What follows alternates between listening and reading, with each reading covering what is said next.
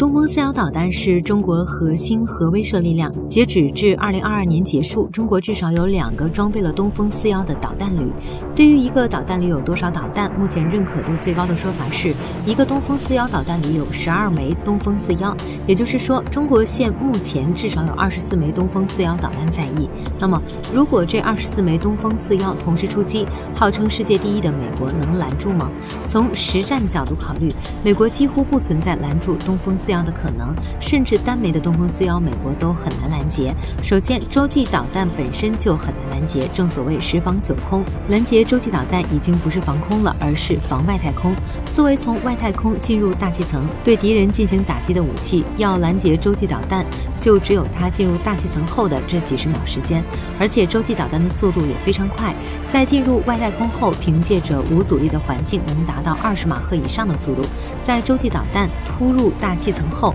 虽然受到了阻力影响，但此前累积的动能依旧存在，核弹头依旧能保证十至二十马赫的速度。这个速度留给拦截系统的时间非常短，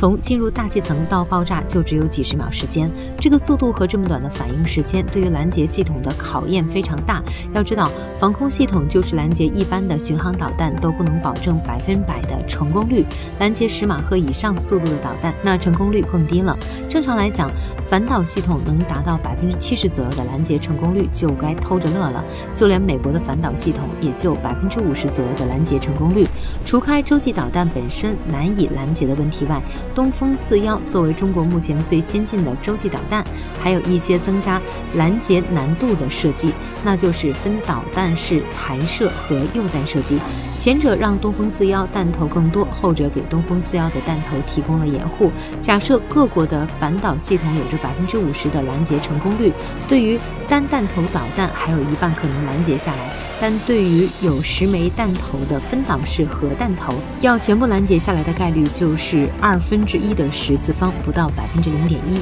如果全部拦截，那付出的成本无疑非常高，且拦截成功率也低到可怕。但要是不全部拦截，放弃拦截的里面混几枚真的，其后果将不堪设想。美国智库组织 CRS 的成员艾米沃尔夫就曾表示，俄罗斯萨尔马特导弹十六枚分导式弹头加四十枚诱弹的模式，在实战中几乎不可能拦截，这足以让美国反导系统崩溃。所以，假设中国真的朝美国发射二十四枚东风导弹，美国别说把二十四枚东风导弹全部拦截下来了，就是拦截一枚都够呛。如果洲际导但真那么好拦截，那也不至于中美俄靠着自己手里的洲际弹道导弹形成核威慑，以及像朝鲜手中比较落后的洲际导弹都能对美国形成巨大压力。